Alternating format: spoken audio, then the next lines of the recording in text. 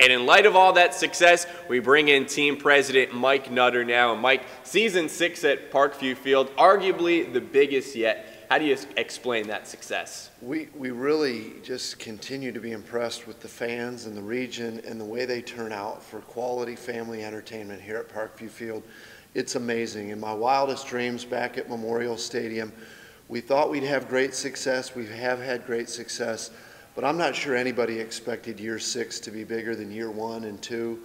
And so it's wild, and now the pressure comes because we have to keep it rolling. And during the offseason, renewed your affiliation with the Padres through 2016. What's the relationship like between the TinCaps and San Diego? It's tremendous. Although we're the farthest affiliate from them, it's the longest tenured. And so it's been a great run.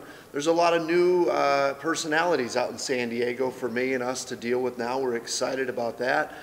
They've remade their major league club into a big time contender for 2015. And we think that the great scouting and player development will continue. They know that it's been six straight years of playoffs. I've told Francisco Morales he's got a lot of pressure. But uh, we're excited about the new uh, era of San Diego Padre baseball and what that means here in Fort Wayne.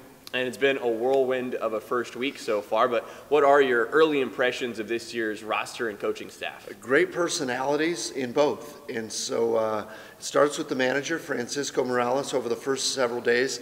For me, has shown himself to be a great leader of men, great communicator. I think whether it's in our office or in the clubhouse, communication's the key where it starts.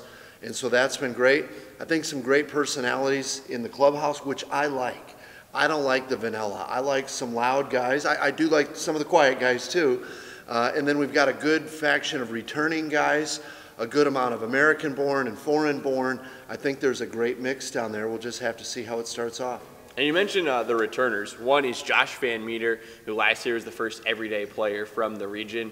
What's it like having Josh around here? It's great for me. Uh, I think it's great for fans. I think it's great for the operation. But selfishly, a little bit, it's great for me personally. Josh and I and his family have become friends over the last couple of years. He used these batting cages behind us to teach lessons and make a few dollars in the off season. He's a good guy to have around.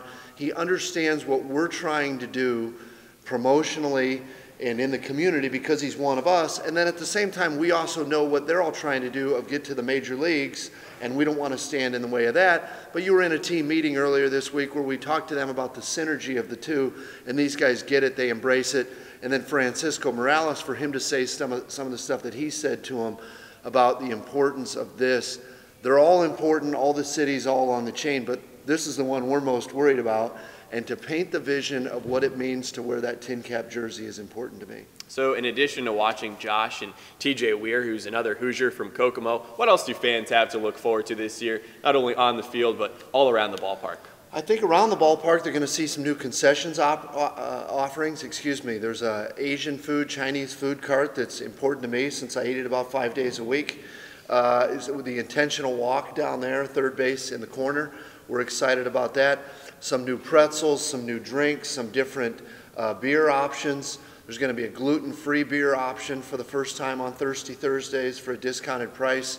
Uh, we've heard from fans that that's an important thing, so we always listen to them. But I think first and foremost, we're known for our promotions. And so great theme nights, new theme nights, new theme jerseys. Tipping a cap to our friends over at the Fort Wayne Children's Zoo, run by Jim Anderson, one of the best zoos in the country, one of the best zoo operators in the country.